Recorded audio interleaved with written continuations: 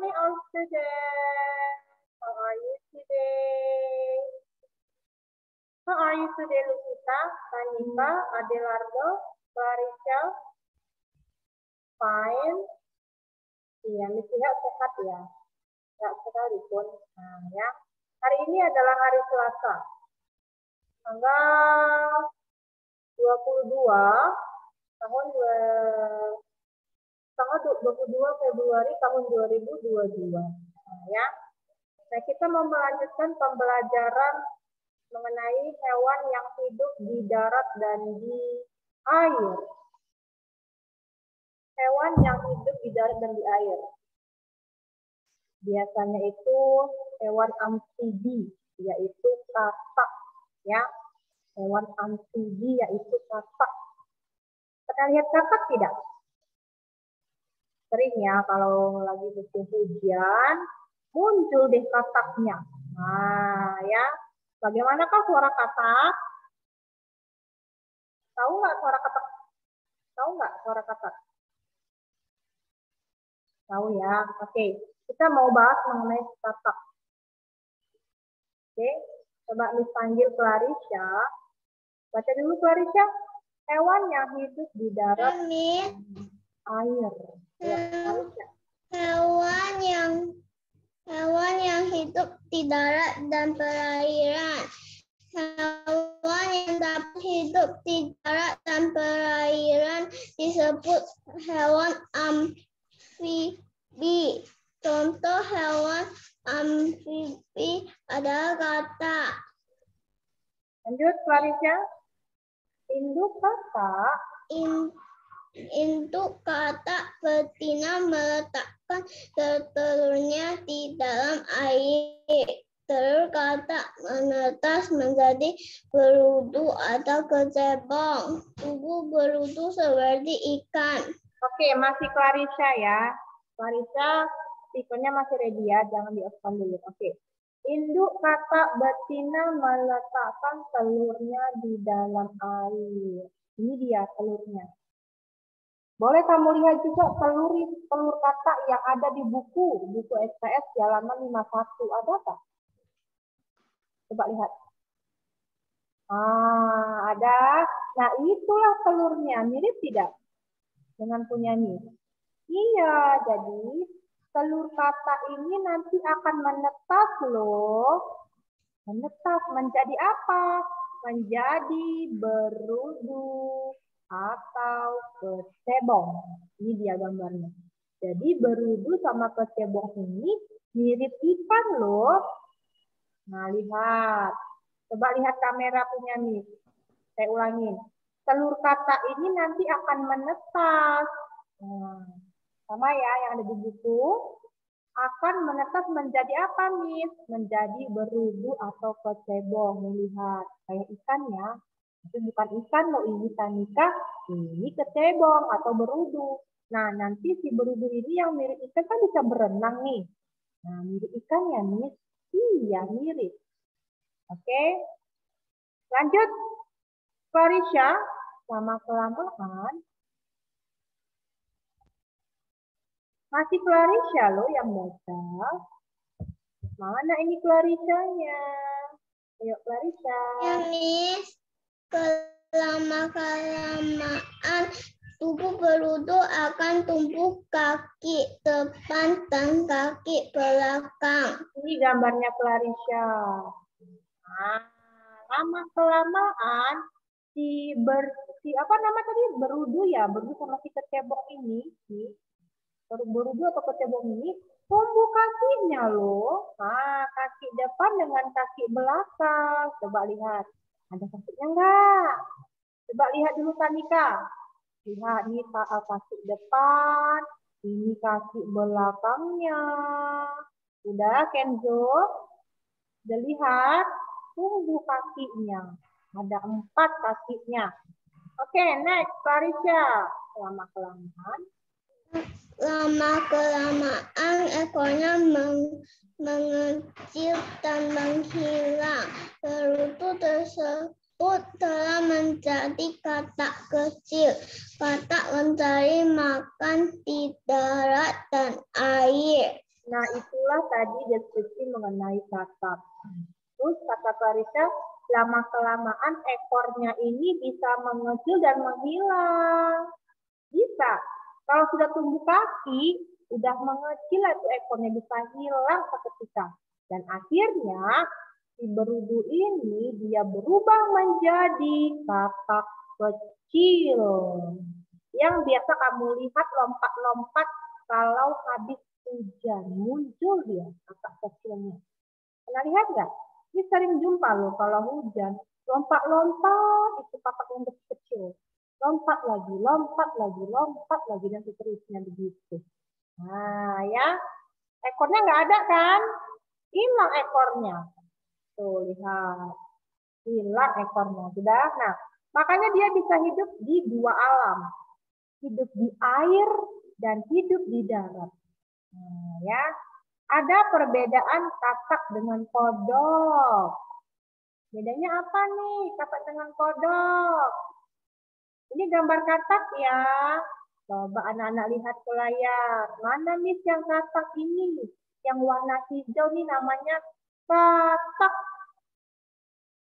Ya, yang tubuhnya warna hijau namanya katak. Udah Raura, Magi, Valerino, Kenisha. Namanya apa? Katak. Ada perbedaannya katak dengan kodok. Terus mau panggil Raura aja deh untuk baca. Yuk Raura, bedanya apa nih? Hmm. Katak dan kodok adalah um, amfibi amfibi hidup di air dan di darat. Kulit kata basah, sedangkan kulit kodok biasanya ke kering. Nah, itu perbedaannya ya, Raura. Kulit si katak basah. Ini katak, katak kecil. Kulit si katak biasanya basah. Nah, ini dia. Nah, kalau si kodok, tadi katak warnanya hijau ya, terus kulitnya basah. Kalau si kodok itu kulitnya itu warnanya gelap loh. Nah, ya, agak hitam atau kecoklat-coklat warnanya gelap. Terus kulitnya kering kalau dia kodok. Nah, ya, kalau dia kodok warnanya gelap, kehitam atau kecoklat-coklatan, terus kulitnya itu kering. Ya. Tambahan ya. Tambahannya yaitu mengenai katak dan kodok ya. Kalau misalnya dia katak, katak bisa dimakan. Nah, ya. Katak bisa dimakan karena tubuhnya tidak mengandung racun. Tapi kalau kodok tidak bisa dimakan, ya nggak boleh dimakan karena cenderung mengandung racun tubuhnya. Nah, di mana Miss tinggalnya si katak, Miss? Si katak itu tinggalnya biasanya di pohon. Ya, di pohon tinggalnya. Kalau dia si kodok tinggalnya sekitar di sungai atau di kayu-kayu yang sudah lapuk kodok ya. Itu aja tambahannya. Oke? Bisa dimengerti ya. Yuk kita lanjut di halaman 54. Halaman 54. Tempat hidup tumbuhan. Tempat hidup tumbuhan. Ini mau panggil Devandi. Devandi. Ya, silakan dibaca dulu ya deskripsinya Devandi. Mikrofonnya saya aktifkan dulu. Iya, ayo baca. Lihatlah lingkungan tempat hidup tumbuhan. Lihatlah lingkungan sekitarmu. Ada banyak jenis tumbuhan. Ada tumbuhan yang hidup di darat. Ada yang ada juga tumbuhan yang hidup di air. Coba lihat Gevandi. Is mau tanya, ini nama tumbuhannya apa ya? Ini. Bunga. Bunga apa, nak? Bunga mawar. Bunga mawar. Di mana hidupnya, Devandi? Darat. Di darat pinter. Di tanah ya. Oke, kalau yang sebelahnya Devandi tumbuhan apa ini?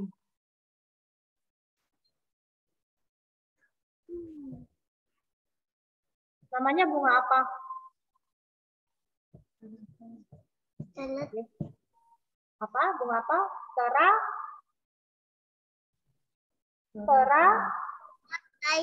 Teratai. Di mana hidup teratai? Di Di air. di air. Beda ya. Yang satu di tanah, yang satu di air. Beda tumbuhannya ya. Oke, lanjut. Masih Gepandi yang baca ya. Silakan Gepandi. Banyak jenis tumbuh. Ada banyak jenis tumbuhan yang hidup di darat. Tumbuhan yang hidup di darat disebut tumbuhan darat. Tumbuhan itu hidup di tanah. Ada tumbuhan darat biasanya tertanam di dalam tanah. Contoh tumbuhan darat adalah mangga, rambutan, wortel, pisang, dan bayam. Coba sebutkan tumbuhan darat lainnya. Iya, coba Gepandi sebutkan contoh tumbuhan darat yang lain masih banyak lagi loh. Gepandi tahu nggak kira-kira apa saja? Nah, silakan baca Jadi- lagi Gepandi. Beberapa Apa contoh tumbuhan lain yang hidup di darat? Jadung, setelah pohon, mangga, mentimun, kedelai, rambutan, pohon, pohon pisang, kelapa, anggrek, bunga mawar, kelapa, dan pinus. Ya, banyak ya. Tumbuhan yang hidupnya di tanah alias di darat tuh banyak sekali. Ada pohon kelapa, ada bunga anggrek, ada tumbuhan mentimun, ada jagung, ada pohon pisang lagi. Kemudian ada ketela pohon dan lain sebagainya. Ya, nah di buku ada gambar wortel tidak, Gepandi? Gepandi. Oke, sudah Ada. oke. Oh, ada. Oke, baik, ada. Nah, kamu tahu nggak manfaat tumbuhan wortel? Apa manfaatnya, Gepandi? Oke, coba baca Gepandi. Wortel adalah, Contoh tumbuhan darat. iya, wortel adalah tumbuhan darat. Nah, apa sih manfaat wortel itu, Gepandi? Manfaat wortel kaya akan nutrisi, menjaga kesehatan mata, baik untuk otak, meningkatkan Yang goyang-goyang. imunitas tubuh. Iya, terima kasih ya Gepandi. Nah, jadi kata Gepandi tadi, anak-anak yang rajin meminum jus wortel pasti baik itu kesehatan matanya. Nah, yang menjaga kesehatan mata nih jus wortel. Kemudian baik untuk otak kita loh. Nah, kemudian si wortel ini dia kaya akan nutrisi yang sangat bergizi sekali dan meningkatkan imunitas tubuh kita. Dia tidak gampang sakit. Nah, ya. Jadi wortel merupakan tumbuhan darat. Sudah tahu ya. Nah, Miss punya nih tambahan lagi mengenai pohon mangga. Kira-kira di rumah ada nggak pohon mangga? Nah, kalau sudah punya pohon mangga di rumah, ternyata pohon mangga kamu itu merupakan tumbuhan darat karena bijinya di- ditanam di dalam tanah. Benar ya? Oke, kita lanjut mengenai ciri-ciri pohon mangga. Coba Miss panggil Valeri. Valeri, Wenola. Silakan Valeri. Ya, Mira. Ciri-ciri pohon mangga. Tinggi pohon mangga berkisar antara 10 sampai 40 meter. Memiliki batang yang tegak dan bercabang. Memiliki daun lebat dan tersebar di seluruh batang dengan bentuk daun tunggal semakin mendekati ujung batang maka jarak antar daun akan semakin dekat. Kemudian untuk warna daun muda ialah hijau muda selanjutnya semakin menua dari hijau muda ke hijau tua kemudian menguning dan biasanya jatuh gugur ketika daun sudah berwarna kuning. Iya, oke. Okay. Thank you ya Valerie. Selanjutnya ciri-ciri pohon rambutan. Ini mau panggil Magi deh. Ciri-ciri pohon rambutan. Siapa yang suka makan rambutan? Nah, rambutan itu merupakan tumbuhan darat ya Tanika, Andri Theodore, Evelyn Angelina. Oke, bagaimanakah ciri-cirinya? Wah, banyak sekali nih buahnya, ya buah rambutan. Silakan Magi, dibaca dulu. Ciri pohon rambutan. Iya, yang pertama. Batang rambutan terbentuk dari kayu keras berbentuk silinder kulit. Batangnya berwarna coklat cenderung abu-abu dan permukaan berkerut. Pencabangnya cenderung horizontal, kadang agak mengarah ke atas. Daun tanaman ini berbentuk lonjong atau memanjang dengan ujung tumpul, menguncing warna daun rambutan hijau muda hingga hijau tua. Iya ya, dia rambutan. Lanjut ya, Maki. Poin ketiga, ciri-ciri pohon rambutan.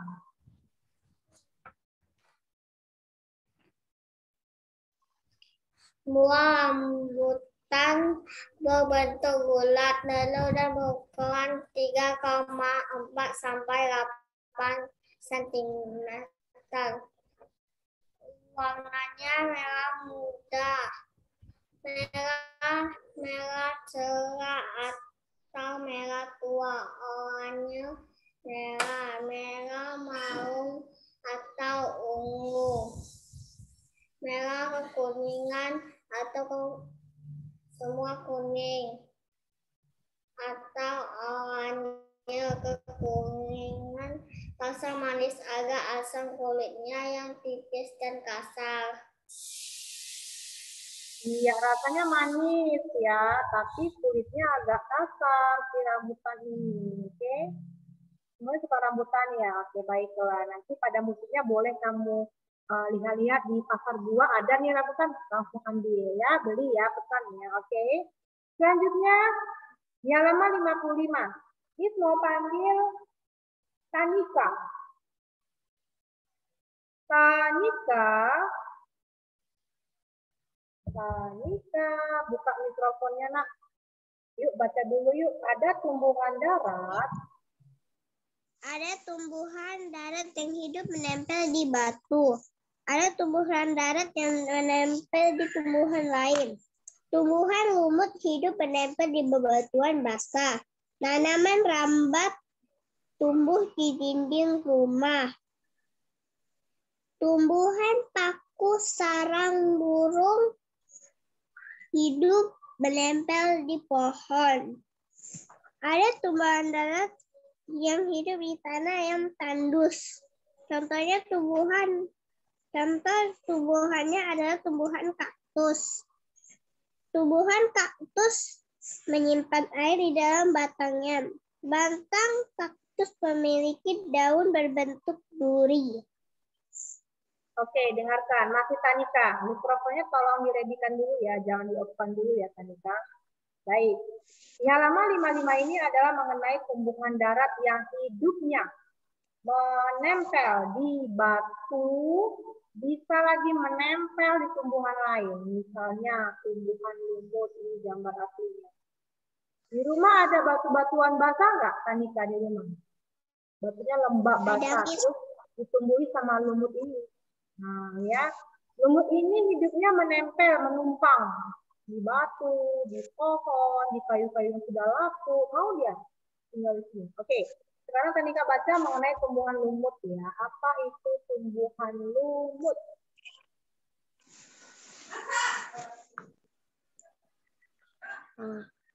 Tanika? Miss, screen Miss, screennya tidak terganti, Miss. Tumbuhan lumut Ya, silakan. Tumbuhan lumut adalah tumbuhan yang hidup dan menyesuaikan diri dengan lingkungan darat, biasanya di tempat-tempat yang lembab dan basah. Nah, ini dia gambarnya ya. Tumbuhan yang hidupnya dapat menyesuaikan diri dengan lingkungan darat. Namanya tumbuhan lumut ya. Dia suka di tempat yang lembab atau basah. Lanjut, manfaat tumbuhan lumut, Tanika. Manfaat lumut menunda erosi tanah, mengurangi bahaya banjir menjadi tumbuhan hias. Ya, jadi dia warna cantiknya hijau ya. Jadi dia sifatnya bisa menghiasi pekarangan rumah kita. Kemudian bisa mengurangi bahaya banjir loh dan menunda erosi tanah juga. Walaupun sifatnya dia hanya menumpang, tapi dia bisa melindungi. Nah ya. Oke lanjut tanaman merambat. Ini gambarnya ya. Kira-kira di rumah ada nggak seperti ini tanamannya merambat? Bisa mengelilingi atap rumah kita. Iya, bisa mengelilingi pagar rumah ada, kita. Miss. Ada ya. Oke. Silakan dibaca kembali mengenai tanaman merambat ya, Tanika. Uh, Miss, screen-nya tidak terganti. Oke, silakan. Tumbuhan merambat merupakan salah satu habitus tumbuhan. Sesuai dengan namanya, tumbuhan ini memerlukan tumbuhan lain untuk meraih posisi terbaik dalam kompetisi mendapat cahaya matahari. Tumbuhan merambat tumbuh di dasar hutan hingga sedikit mendapat cahaya matahari. Nah, makanya seperti ini posisinya suka merambat di daerah pagar-pagar karena dia uh, sangat baik sekali mendapat cahaya matahari. Dia kan tumbuhnya kan di hutan. Itu jarang loh sinar matahari, makanya pada saat dibawa di daerah kota, dia sangat subur sekali merambat-merambat sampai ke pagar-pagar, ke atap rumah, seperti ini. Kelilingi ya katanya ya. Oke, manfaat tanaman merambat. Silakan baca kembali Tanika. Uh, Miss layarnya Meram, manfaat tanaman merambat sebagai tanaman obat, sebagai penyejuk lingkungan, sebagai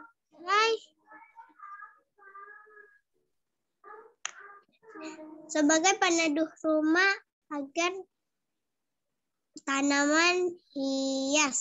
Iya, jadi tanaman merambat ini kenapa orang suka merawatnya? Karena dia bisa sebagai obat.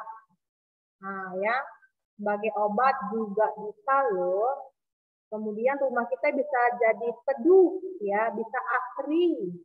Kemudian jadi cantik rumahnya ya sebagai tanaman hias juga. Oke. Kalau di rumah mis yang ini tanaman merambatnya yang ini di rumah mis. Nah, ya. Sama yang ini yang di atas ini yang di atas rumah ini dia ini hijau-hijau ini. Ada. Merambat semua ke atas atap rumah. Seperti ini. Persis seperti ini. Persis. Nih. Jadinya jadi asri rumah kita. Udaranya sejuk, ya. Jadi hijau-hijau begitu. Oke. Okay? Nah sekarang Miss mau panggil Andrius Theodora Pojan mengenai tumbuhan paku. Andrius. Theodore Pojan. Silakan Andrius. Baca kembali ya. Tumbuhan paku, sarang burung hidup menempel di pohon. Ya. Paku, sarang. Paku, sarang burung merupakan jenis tumbuhan paku populer sebagai tanaman hias. Andrew di rumah bisa, uh, pernah lihat nggak tumbuhan seperti ini yang daunnya lebar-lebar ini? Namanya paku sarang burung. Ada nggak? Mamanya suka tanam tanaman nggak? Uh, ada. Ada ya. Nah, jadi biasanya orang-orang melihara tanaman ini sebagai tanaman hias, suka hobi. Nah, ya, sangat terkenal sekali sebagai tanaman hias. Baca kembali, Andrew. Aku sarang burung ini adalah jenis paku yang paling banyak dimanfaatkan oleh masyarakat. Nah, jadi bukan ada pakunya ya, namanya paku sarang burung ya. Ini banyak sekali dimanfaatkan oleh masyarakat loh. Di antaranya adalah Andrew saat paku sarang burung antara lain sebagai obat penyubur rambut, demam, sakit kepala, gigitan atau sengatan hewan berbisa. Oke, jadi kalau misalnya ada anak yang sakit, boleh kita kasih obat ya, obat sakit demam loh ini paku sarang burungnya boleh kita buat ramuan, racikan untuk obat demam. Kemudian bisa bisa jadi obat sakit kepala, kemudian obat penyubur rambut. Jadi subur loh rambut kita kalau menggunakan paku sarang burung ini. Nah, kalau pernah digigit serangga atau sengatan hewan yang berbisa, inilah obatnya. Paku sarang burung. Jadi sangat berkhasiat sekali, ya. Sangat mujarab untuk obat sakit demam juga bisa. Oke. Lanjut ya, mengenai tumbuhan kaktus. Tumbuhan apa? Kaktus, iya tumbuhan kaktus batangnya berduri. Oke, coba dulu Andrew uh, baca sedikit mengenai manfaat kaktus. Manfaat kaktus. Kaktus sebagai sumber makanan, membantu pernapasan, membersihkan udara, meningkatkan fokus, membantu mencegah penyakit, memulihkan sakit lebih cepat. Iya, itu tadi manfaat kaktus ya. Dia batangnya itu banyak durinya. Ya, memang begini penampakannya. Tapi ini unik sekali loh. Tumbuhan kaktus menyimpan air di dalam batang. Ya, kalau Miss nggak punya pohon ini, di rumah kalian ada nggak pohon kaktus? Coba siapa yang punya pohon kaktus boleh chat saya. Ini saya punya. Ini nggak punya pohon ini karena Banis takut dia berduri. Nah, ya kalau nggak hati-hati bisa terluka loh kulit kita. Jadi harus teliti, harus fokus dengan sumur ini kalau mau menyiramnya. Andrew punya juga. Oh, hebat Andrew ya. Semua pohon tanaman punya. Oke. Dia nggak punya, jujur aja nih nggak punya. Nah, ya. Hati-hati ya Andrew untuk merawat tanaman ini karena dia tanamannya berduri ya sayangnya. Tapi walaupun berduri, dia hebat loh. Manfaatnya sangat baik sekali. Membersihkan udara di lingkungan kita menjadi bersih udara di tempat kamu. Kemudian uh, bisa mencegah penyakit, bisa memulihkan sakitnya lebih cepat, ya, dan lain sebagainya. Oke, okay? kita lanjut ya di halaman berikutnya yaitu halaman 56. Mengenai tumbuhan yang hidupnya di air. Tumbuhan yang hidupnya di air. Oke, Sis mau panggil lagi deh siswanya. Chen Verita. Ada Chen?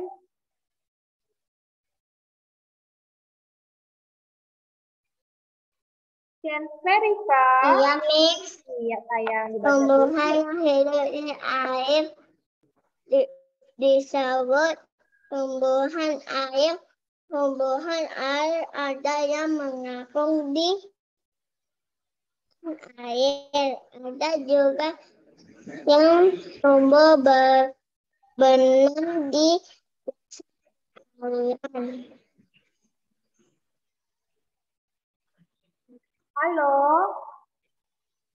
Ini Erika, ya. Lanjut ya bacanya ya. Ini sudah dibaca? Oke, kita lanjut. sudah Iya.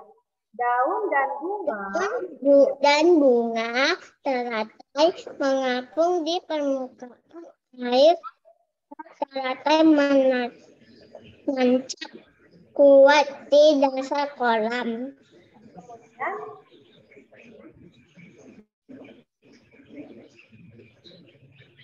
Anjing gondok tumbuh mengapung di permukaan air. Lalu tumbuhan lamun Tumbuhan lamun tumbuh di dasar la- laut yang dangkal. Iya, terima kasih ya, Chen. Nah, di buku kita itu ada tiga tumbuhan air. Nah, ya. Yang pertama katanya tumbuhan air ini dia mengapung di permukaan air. Ada tumbuhan teratai, ada eceng gondok, ya. Kemudian ada tumbuhan lamun. Nah, ya ada tiga ya. Nah, ini punya koleksi nih tumbuhannya ada di air. Mau tahu tidak? Banyak loh. Dikasih contohnya ya, yang punya Miss ya. Nah, coba kita ulangi lagi ya. Ini kasih tunjuk bunga asli dari teratai. Nah, ya. Ini namanya teratai, tumbuhan air. Kemudian ada lotus. Ini bunga lotus merupakan tumbuhan air. Mirip ya, seperti teratai, tapi dia ada tangkainya. Kemudian ada kala lili. Nah, tumbuhan apa ini? Tumbuhan air, namanya kala lili.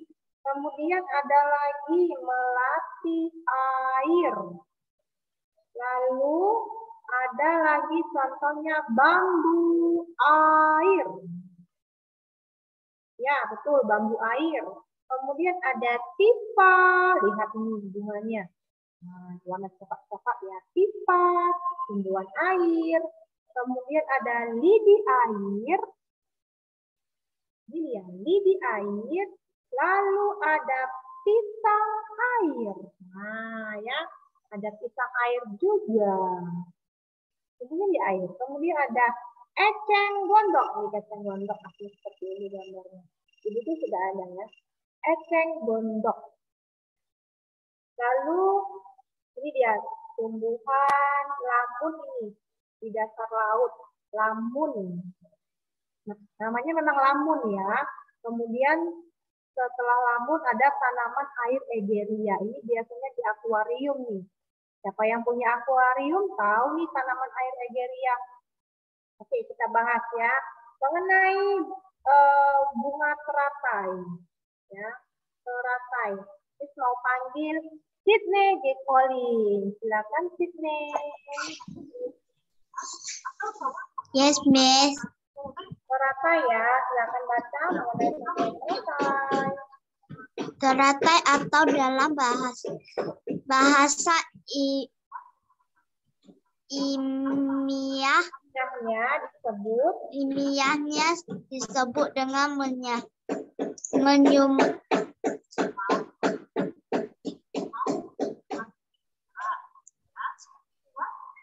limpaya adalah limpaya adalah salah satu jenis tumbuhan yang sangat populer hampir di, ba- di banyak negara. Tapi Indonesia sendiri tumbuhan teratai sering disebut juga dengan tumbuhan lotus.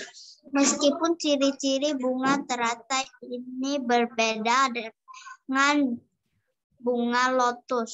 Tumbuhan ini hidup dan ber- berkembangan di permukaan air yang tenang dengan daun yang daun dan bunga sampai tanpa tangkai yang berbeda berada di atasnya. Iya, thank you ya. Kasihnya Gekolin. Selanjutnya, tumbuhan lamun. Dibaca oleh Rebecca. Ada Rebecca? Iya, silakan Rebecca. Tumbuhan lamun. Yes, Miss. Lamun. Oke, lamun.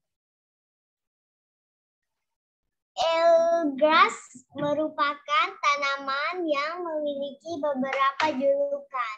Tanaman ini juga kerap disebut lamun. Ada juga yang menyebutnya tape grass atau saladriliar. Airglass adalah jenis tanaman air yang terendam berakar. Memiliki kinerja yang baik dalam air yang mengalir dan memiliki daun seperti pita tipis yang menyerupai seledri atau mengingatkan kita pada seekor dulu. Iya, jadi ini adalah tanaman air yang ada di dalam dasar laut yang dangkal ya, lamun, oke, okay? lamun. Masih Rebecca ya, Esteng Wondok Rebecca. Oke, okay, Miss. Silakan dibaca kembali. Tumbuhan yang satu ini merupakan tumbuhan yang sudah sangat familiar, familiar bagi kebanyakan orang. Memiliki nama ilmiah Eihornia tripsipus eceng godok. Merupakan jenis tanaman air yang menggabung. Eceng godok dianggap sebagai tumbuhan gulma karena pertumbuhan uh, pertumbuhannya yang terbilang cepat dan sulit untuk dikendalikan. Akan tetapi pada hari ini, eceng kodok mulai dapat diambil manfaatkan sebagai bahan kerajinan atau pakan ternak.